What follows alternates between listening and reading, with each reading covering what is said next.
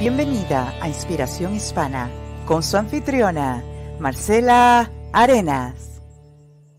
Hola, muy buenas tardes. Bienvenidos a un nuevo episodio de Inspiración Hispana. Soy su anfitriona Marcela Arenas de Hispana Realizada.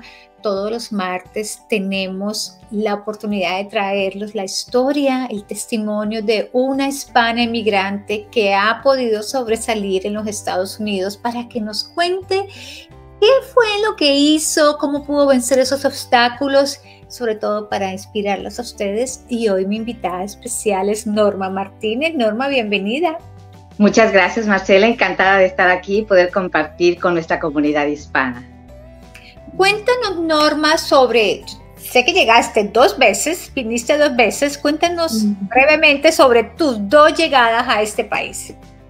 Muy bien, Marcela. Pues la primera la primera vez que yo llegué aquí lo llamo como llegar con el pie derecho porque conseguí un trabajo estando en México, yo soy original de México y ya después que tenía más o menos dos años de graduada trabajando, ya trabajando en una empresa, eh, vi un anuncio en el periódico donde requerían una, una asistente administrativa para ir a trabajar al Banco Interamericano de Desarrollo en Washington, D.C.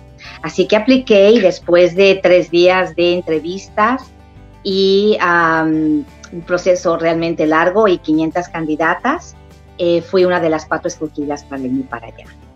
Así que llegué con contrato, con beneficios, con subsidio de instalación, me recogieron en el aeropuerto, me llevaron a un hotel ah, mientras conseguía casa. Y bueno, eh, fue una experiencia increíble increíble. Duré 10 años ahí y en ese proceso, bueno, también me casé, tuve mis hijos, ¿no? Pero fue una experiencia increíble. Ahí es donde conocí a todos los, los, lenguajes, ¿verdad? O sea, en español, los acentos, como dicen. Conocí gentes de toda Latinoamérica. Eso fue muy interesante, conocer sus comidas, su acento, sus costumbres, que son muy parecidas, ¿verdad? Todos los latinoamericanos pero este, ah, fue muy, muy interesante esa experiencia, increíble. ¿Y la segunda vez? ¿Cómo fue la segunda vez? La segunda vez, bueno, este, ya este, cuando tenía 10 años eh, me casé, me divorcié y decidí regresarme a México.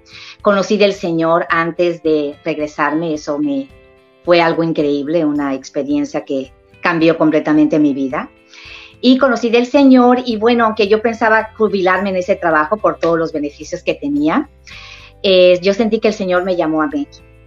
Entonces ah, me regresé a México eh, con mis hijos muy pequeños, eh, tenían seis y tres añitos.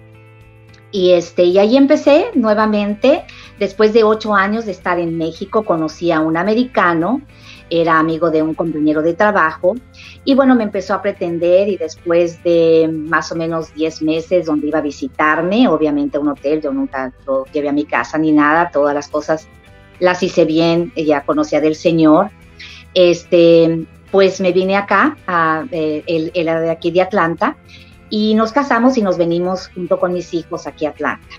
Él empezó a cambiar mucho y la, experiencia no fue, no fue muy buena, duró poco tiempo y eh, realmente ahí fue donde empezó. Esta segunda vez fue muy retante porque prácticamente tuve que escaparme, ¿verdad? Este, oía un comentario que no me gustó, em, especialmente que él, él decía que tenía una familia en casa y que se iba a deshacer en dos semanas de la familia. Así que ya te imaginarás eh, cuando yo escuché eso, eh, me espanté mucho. Entonces llamé a un número de emergencia y me dijeron, te podemos dar refugio en una casa de mujeres y ya tú decides qué hacer de ahí, ¿no? Te damos un mes. Entonces ah, tomé mis cosas, compré un coche. Eh, fue una planeación, ¿no? Como él dijo, dos semanas, yo me di unos días y le dije a mis hijos, pues nos vamos. Este, ellos ya veían que había problemas. Así que, pues agarrada de Dios y con los versículos, eh, donde uno, un versículo que me ayudó mucho es de, el de Josué 1.8, donde decía, te pido que seas valiente, eh, no desmayes, ¿verdad? Porque yo estaré contigo donde quiera que vayas. Así que ese versículo me ayudó mucho, me agarré de Dios Y mis hijos me decían, ¿dónde vamos? Decía, pues no sé, pero estamos en una aventura. A mí me gusta ser positiva y digo, estamos en una aventura y tendremos muchas cosas que contar a los nietos, ¿verdad? Y a los hijos. Así que de ahí, Marce, pues empezó toda una eh, experiencia difícil.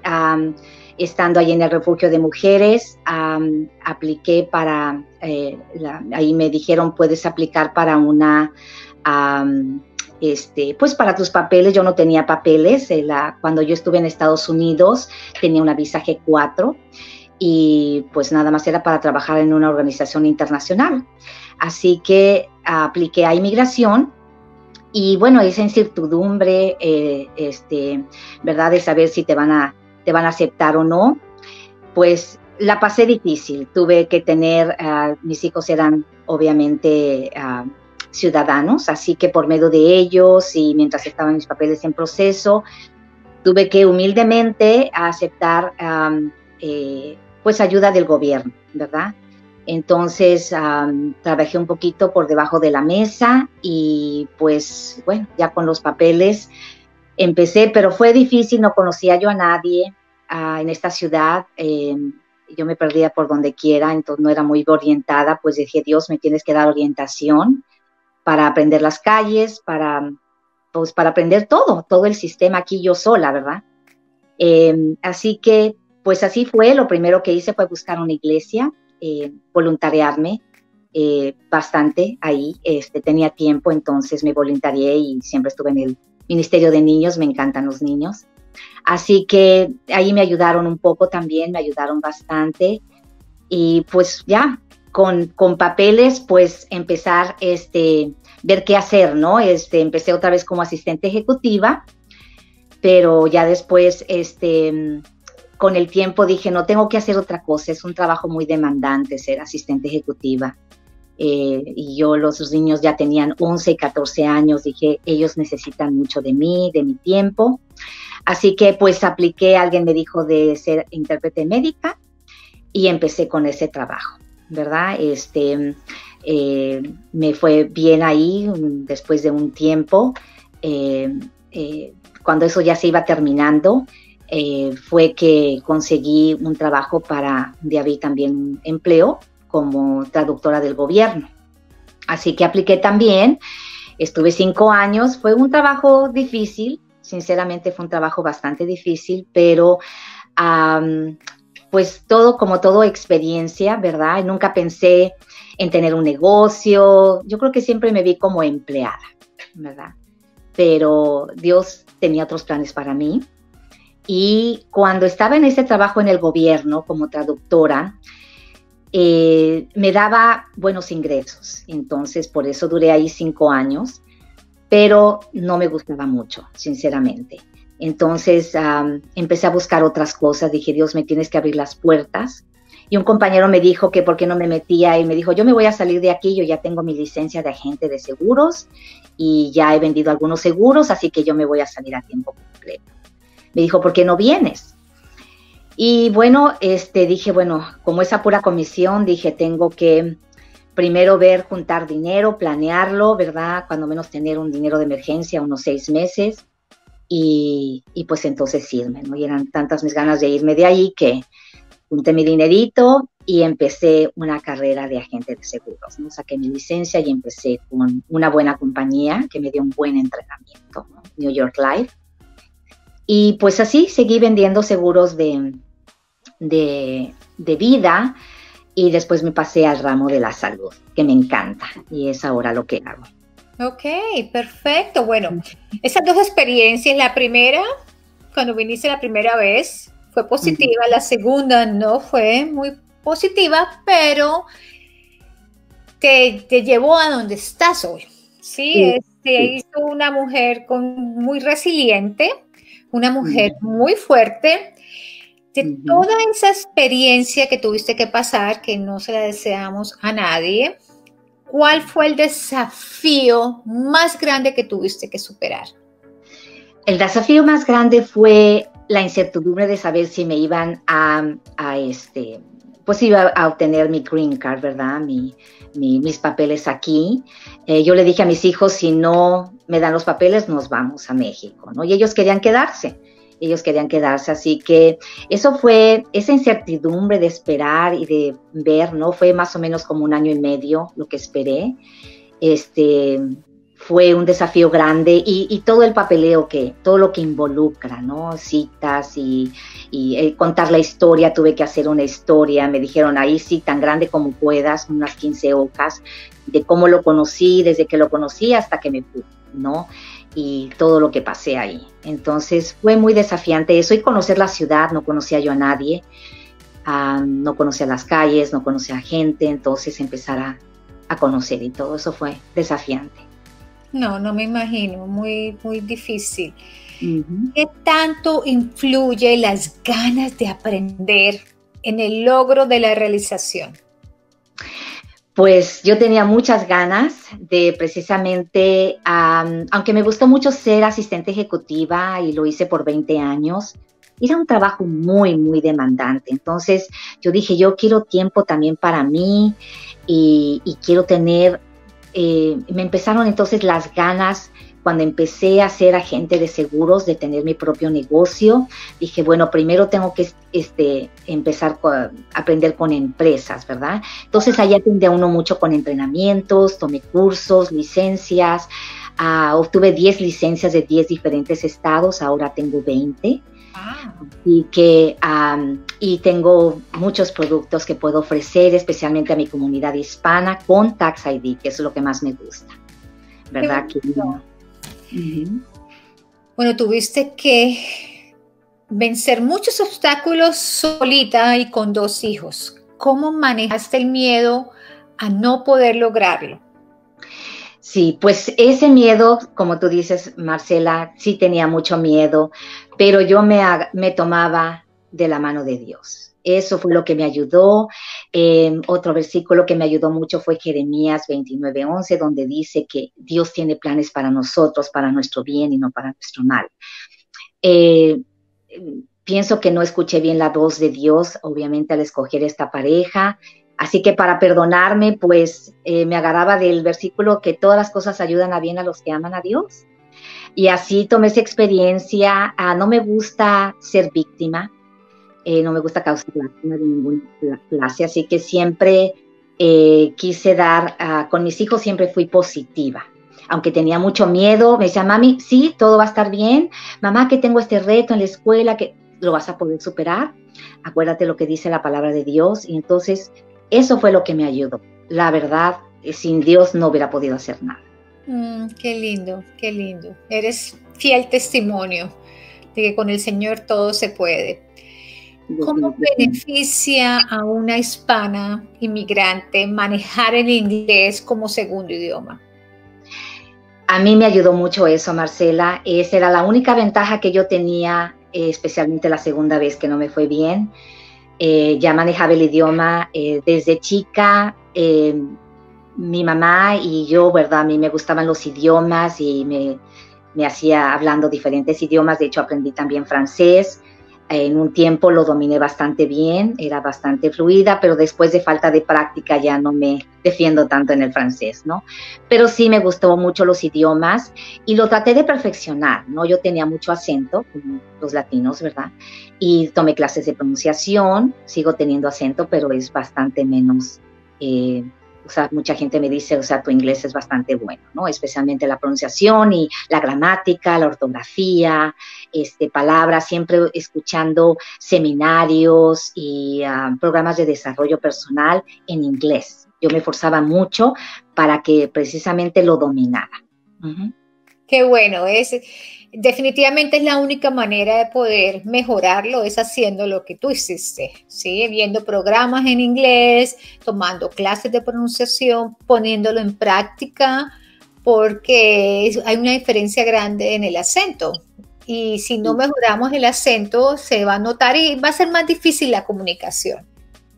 Norma, ¿cómo es tu vida actualmente?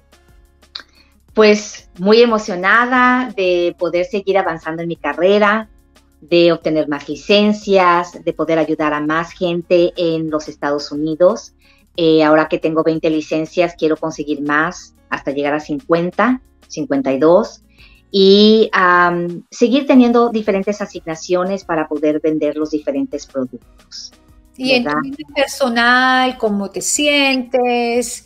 sí, pues eh, bueno, mis hijos, uh, mi hija se casó el año pasado, el año pasado yo lo llamo el año del amor porque mi hija se casó, yo también eh, me casé y mis papás cumplieron 60 años de casados. Oh, wow. Así que tuvimos eh, una boda casi cada tres meses celebrando. y pues me siento muy bien. Ah, también me gustaría mucho ayudar a mi esposo. Mi esposo tiene una, un negocio de consultoría, él es ingeniero químico y él resuelve problemas de contaminación y aire en las compañías y tienen que tener muchas regulaciones y permisos, que en, algún momento él trabajó para el gobierno y revisaba esos permisos. Entonces ahora ayuda a las empresas a hacer esos permisos y en, en el área administrativa me gustaría ayudarlo bastante y pues seguir con mi negocio también. ¿Qué es lo más satisfactorio de mirar hacia atrás y qué es lo más motivante de mirar hacia el futuro? Mira, yo creo que lo más satisfactorio es ver dónde estoy ahora, ver que me tomé de la mano de Dios y que pues sigo avanzando, sigo avanzando, tengo muchos ánimos de seguir desarrollándome, uh, quiero tomar cursos, uno de ellos es el Toastmaster, que me va a ayudar mucho. Eh, y bueno, seguir aplicando para mis, mis ¿verdad? Seguir creciendo mi negocio con teniendo más licencias, ayudando a más gente.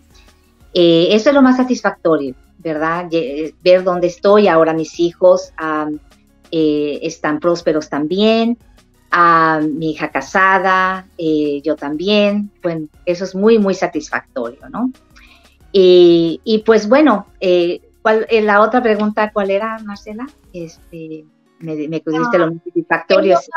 ¿Qué es, lo más, motivante de mirar hacia el futuro?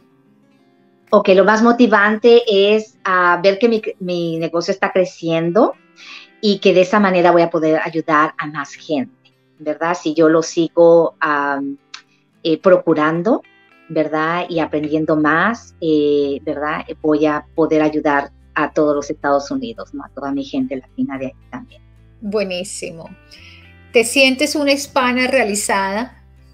Sí, sí me siento una hispana realizada, aunque todavía hay mucho que aprender, mucho que desarrollar. Eh, la cosa es siempre seguir aprendiendo, pero sí me siento una hispana realizada ahora que veo marcha atrás cómo empecé de cero, ¿verdad? Sin nada y ahora pues eh, tengo la oportunidad, me pude hacer de una casa eh, y aparte sacar adelante a mis hijos que ya tienen 27 y 31 años. Y, y bueno, ahora yo también estoy casada, así que sí, ah, me siento muy realizada en este momento. Qué bueno. Bueno, para conocerte mejor, respóndenos en breve. Y yo sé que esa pregunta sobra, pero porque yo sé lo que me vas a contestar. ¿Qué lugar ocupa Dios en tu vida? Es muy importante el primer lugar, definitivamente, Marcela. Se te nota. Esa relación es lo que me ha llevado a subsistir y a tener un carácter fuerte y valer. Y a, ser, la mujer con, con esa actitud tan positiva que se te nota así a través de la cámara, eh, brotas positividad y eso solamente te lo da el Señor. Exactamente, lo da el Señor. Humildemente lo digo porque sin Él no somos nada. Si pudieras cambiar algo del pasado, ¿qué cambiarías? Escuchar mejor la palabra de Dios, porque en algunos momentos que tomé decisiones, eh, yo creo que las emociones nos llegan y no escuchamos propiamente a Dios, entonces uno comete errores graves, ¿verdad? Cuando no escuchamos. Así que si quisiera volver atrás, eso es lo que me, gustaría, escuchar mejor a Dios. ¿Cuál es tu mantra? Eh, mi mantra es eh, alegría y calidad de vida. ¿verdad? Calidad de vida, si uno se cuida, si uno cuida sus finanzas, su salud, sus cosas, pues puede tener una buena calidad de vida sin tener que tener demasiado, ¿verdad? Así es. Normal. ¿Algo más que te gustaría agregar? Pues nada más animar a todas las hispanas a que aunque estén pasando por tiempos difíciles y todo empiezo es muy difícil, eh, me gustaría mucho que, que, sigan adelante, que se tomen de la mano de Dios. Eso es lo más importante porque Dios dirige nuestros pasos y Él tiene planes para nosotros y muy buenos. Nosotros a veces no lo sabemos, pero Él tiene planes excelentes para nuestra vida. Así que tomadas de Dios, Él nos va llevando por un rumbo que a veces no sabemos. Yo nunca me vi eh, ofreciendo eh, productos de salud y eh, nunca me vi así, sinceramente, ¿no? Y pues Dios nos va llevando y nos tiene sorpresas en el camino muy buenas. Así es. Norma, regálanos tus redes o dónde te podemos encontrar. Sí, mira, de momento estoy haciendo una página de Facebook e Instagram, están en, están en ese proceso, pero para, me pueden encontrar en mi teléfono, que es el, ¿puedo dar mi teléfono? Sí, sí. Es el 404-438-7181. Y también me pueden mandar un email, o sea, por teléfono o texto es la mejor vía, ¿no? A cualquier hora que necesiten contactarme. Eh, pero también eh, me pueden mandar un email a normamartinez10 arroba comcast.net, que ese es mi, mi, email, ¿no? Para yo, si necesitan algún producto, alguna cosa, yo con mucho gusto, eh, y si no lo tengo yo, puedo dirigir. Tengo colegas que tienen, manejan otros clases de productos que no manejo yo y los puedo referir. Excelente, Norma, muchísimas gracias. No, al contrario, Marcela, fue un gusto estar aquí contigo y compartir un momento. Así que eh, muy contenta de haber estado aquí. gracias por aceptar nuestra invitación y a todas gracias por acompañarnos hoy en este nuevo episodio de Inspiración Hispana y nos vemos el próximo martes a las 12 del día en todas nuestras redes aquí en Hispana Realizada. Muchas gracias y hasta la próxima. Gracias. Hasta la próxima. Bendiciones a todos. Bye bye.